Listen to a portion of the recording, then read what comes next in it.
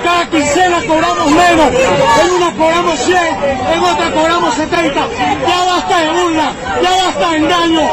Queremos que respeten nuestros derechos. ¿Cómo hace un enfermero para cubrir sus necesidades básicas con los bajos salarios que vengan? Milagro. Para poder llevar el pan a la casa, hacemos milagros. Aquí está la prueba, no puedo comprar mis zapatos. O compro el pan, o compro la pastilla, la atención, o veo que llevo para mi casa. Ya basta, fuera el régimen de Maduro, ya basta que nos estén matando de hambre.